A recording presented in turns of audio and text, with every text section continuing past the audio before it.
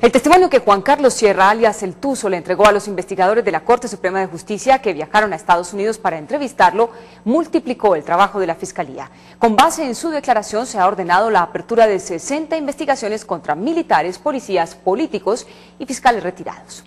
Carlos Cárdenas. María Cristina, entre las muchas personas que involucran su testimonio está el general Luis Alberto Moore, con quien, según dice, jugó fútbol cuando pesaban en su contra varias órdenes de esa captura.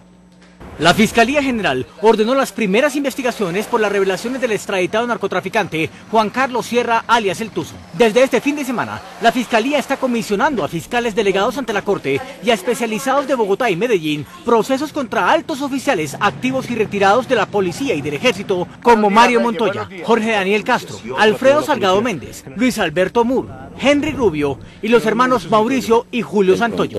Sobre el general de la policía Luis Alberto Mur, alias El Tuzo, dijo. René era comandante de las autodefensas del suroeste, es muy aficionado al fútbol. En la finca mía en Andes tengo una cancha de fútbol. Invité a René y el coronel Moore estaba a descanso. En un equipo jugaba el coronel Moore y en el otro equipo jugaba René. Así de sencillo. Y René con 50 mil órdenes de captura y con escolta enfusilada ahí en la finca. Sobre el general Mauricio Santoyo dijo. Se combatió la terraza con la ayuda del bloque SEAT, del Cuerpo Especial Antiterrorismo que fue comandado por Mauricio Santoyo. Lo dejó Mauricio Santoyo cuando se fue a manejar la seguridad del presidente. Alias El Tuzo también relacionó con paramilitares al general Mario Montoya, excomandante del ejército. Un abrazo para todos.